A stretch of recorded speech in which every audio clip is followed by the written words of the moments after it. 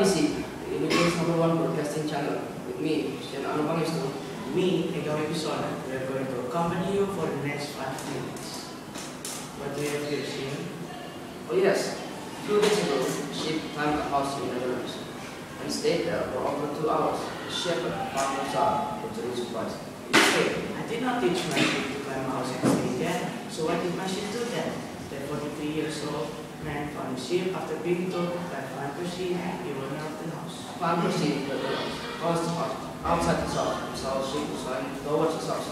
Suddenly, a wolf appeared from the woods. He thought the wolf crossed the ship to climb his house. Several minutes later, the rescue team came. It took about an hour to take the ship down. Yes, now the ship has returned to the owner.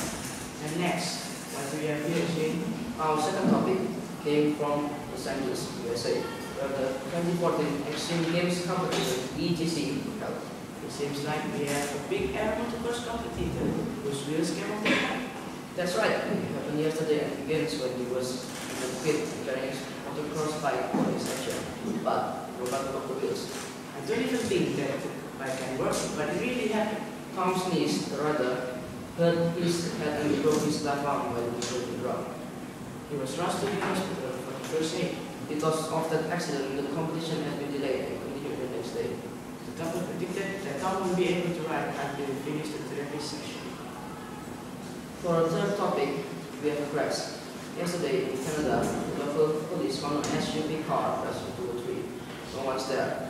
It was very strange and the police, his name is Clark Goodman, found dog tracks on the ground. It's possible the man who drove the car saw a dog on the street. He was surprised and crashed into a tree.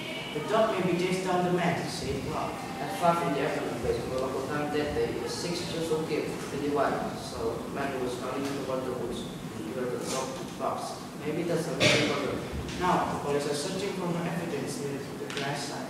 So far, the scenario told by Clark Man is the most possible thing that happened to the man. Okay, we move on to topic number four. What do we have here, Ega? Here, we have a man who don't feel fit. Several days ago, our reporter interviewed a man called Johan Lee, who works in a zoo in China. Yes, he works with crocodiles. At least crocodiles did and fix them. Maybe we should appreciate him, because if you look there, if the crocodile goes his mouth, he's dead. Yeah, and what amazed me is during the interview, he said that he is not afraid at all. He looked happy when he cleaned the crocodile's in the kitchen. And he said that this is the only way he can make money for his family. So, he has to do this? Yes, you're right, Shane. It's time for us to say goodbye. Yes, that's all for today. I'm Sir Anupang And I'm Mega.